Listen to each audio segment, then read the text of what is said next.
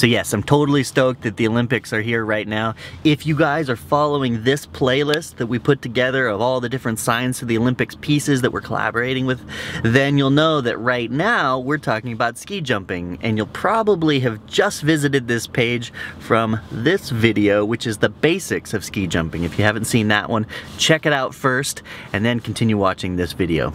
Okay, we're gonna look though at the variables of ski jumping.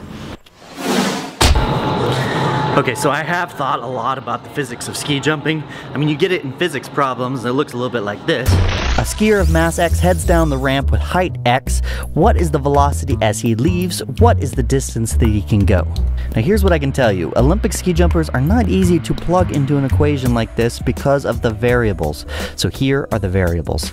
The first is friction on the ramp, which means you want really slick skis with very little friction. And everyone does a pretty good job of doing that.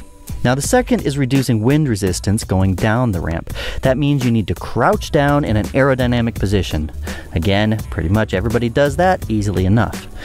Third, jumping at the end of the ramp. Now this seems a little bit trickier. This jump gives you extra height, but it also sets up your angle for the flight. Too upright, you have lots of drag too horizontal and you really risk a crash. Now this flight is actually the biggest variable. You see, you want to fly and boy, can you ever fly when you're ski jumping.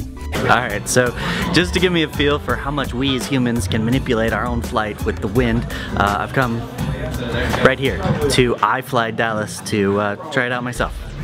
So watch this. I can actually walk into the tunnel just like this. The wind doesn't seem to do anything to me. Of course, that's because I have a very sleek body position. It's the sleek position that ski jumpers want to put forward when they fly into the oncoming wind.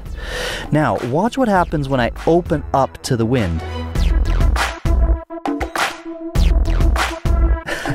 I can just levitate above the ground. How freaking cool is that?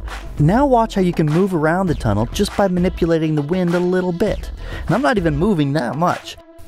Pretty cool, huh?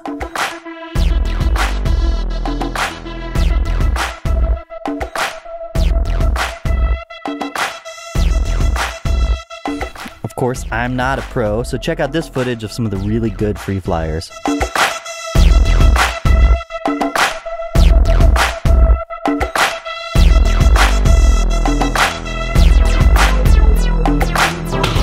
Alright, so the point of me doing this was just to show you how people can use the wind to really fly. And the thing is, ski jumping is not all that different from uh, flying in a tunnel like this. It takes a lot of time to get good. So I have a lot more respect for really good ski jumpers because it's all about flying. Alright, so if you enjoyed this video, make sure you subscribe to watch all of our videos and make sure you watch some of the other YouTubers we teamed up with to do these Science of the Olympics. Um, if you didn't watch the playlist already, click on this to kind of backtrack and start from the beginning because it was a really good and really fun series. All right, we'll see you next time.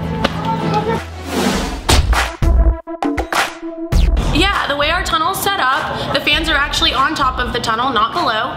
Um, the whole building is actually part of the tunnel. We have built columns down the side of the wall. Um, so basically those fans suck air up, shoot it down the sides of the building and back up to the basement. So it cuts out the turbulence. Um, it cuts out the dead space between the air and the glass.